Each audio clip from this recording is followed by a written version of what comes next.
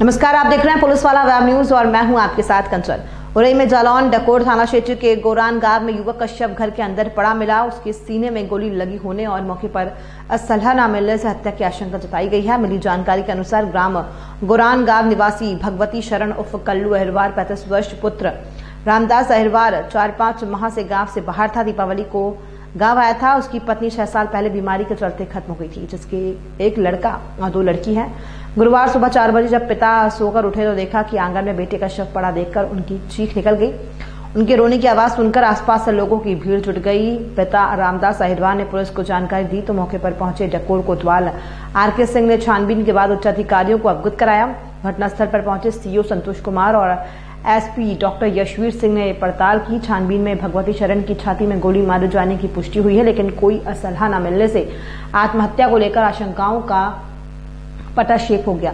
वहीं परिजनों ने हत्या किए जाने की आशंका जताई है। घटना संदिग्ध देखकर एसओ ने फॉरेंसिक टीम को बुलाया और मौके की वीडियोग्राफी कराने के साथ आवश्यक साक्ष्य जुटा। रिपीट। आवश्यक साक्ष्य संकलित किए वहीं पुलिस ने मौके से कुछ लोगों को गिरफ़्तार करके पूछताछ कर रहे हैं। शव पोस्टमार्टम के लिए भेजा गया है जिसकी रिपोर्ट आने के बाद ही स्थिति स्पष्ट हो सकेगी। क्या घटना हुई है? घटना गोली मारी। किसने? राम कुमार ने जीतू ने और राम प्रकाश कि किसको गोली मारी है? भगवती शरण कौन है आपके? ये वो भगवती शरण हमारा लड़का। कारण क्या रहा गोली मारने का? इसका कारण ये है कि एक लड़की थी धनी राम की। जी। तो बाल लड़की देखकर सही जी बारह हज़ार रुपया डालर थे तो वहाँ पे तीन चार लड़का दारू पिए थे। तो वे तीन लड़का भाग गए जे अकेले ने पेन तो टाल लो टीका तो टाल ली।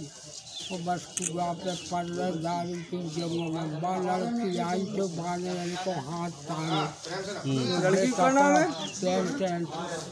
एक मिनट रुक जाओ हाँ ये फिर तो पूछन तो दे यार अगर जी सवाल है पूछा नहीं पूछे लड़की का नाम है का नाम सर डकोर थाने के गोरन गाँव में एक हत्या का मामला आया है क्या मामला? जी ये थाना डकोर का गाँव गोरे है जिसमें रात पुलिस को सूचना मिली है कि एक कल्लू है उसको किसी ने गोली मार दिया है।